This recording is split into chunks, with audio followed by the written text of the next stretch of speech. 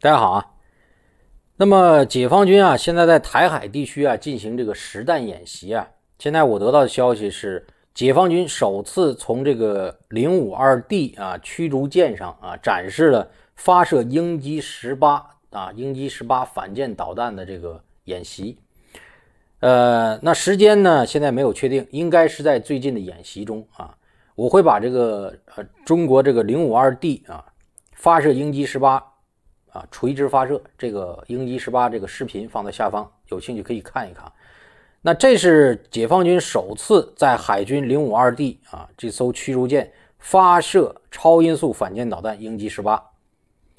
鹰击十八呢是超音速反舰导弹，是中国啊进口俄罗斯的啊叫俱乐部型俱乐部 S 型导弹，然后分三级啊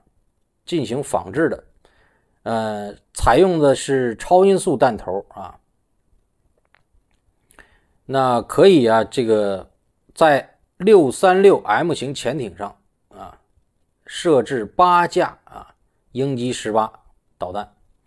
那就是在 M 六六三六 M 型潜艇上也可以发射这种鹰击十八导弹啊。呃，鹰击十八导弹的射程是二百九十海里啊，就是五百三十七公里啊。那这一次的发射。我觉得是中国在台海地区啊，现在看来，嗯，又一个比较大的动作啊，就是发射反舰导弹了。嗯，台海最近的演习，解放军那个是非常多的啊，不光是战机啊，战机越过台海中线，解放军在海啊，在海面上各种实弹训练、实弹演习也是层出不穷的啊，大家可以通过视频看一下。